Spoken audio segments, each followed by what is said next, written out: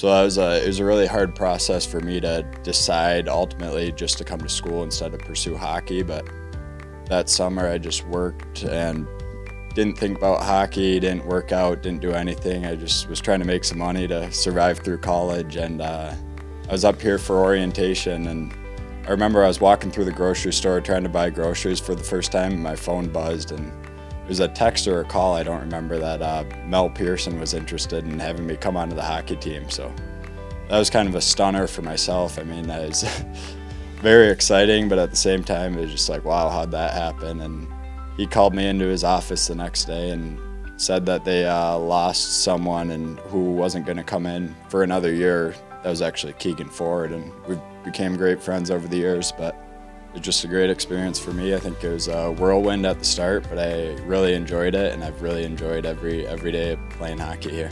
Yeah, my first goal was at Bemidji State last year in the outdoor game. And Michigan Tech will work it back to the line again. They go D to D. Kiilunen with a shot. That one scores! Kiilunen with the goal. Right through Driscoll. But the puck was down in the corner and it came up to Eric Goetz. I was playing with him that game and he uh, slid it over to me and I just tried to put it on net as fast as I could and happened to go in. It was kind of a blur thinking back to it, but it was a pretty special moment and it was cool to score it in the outdoor game as well.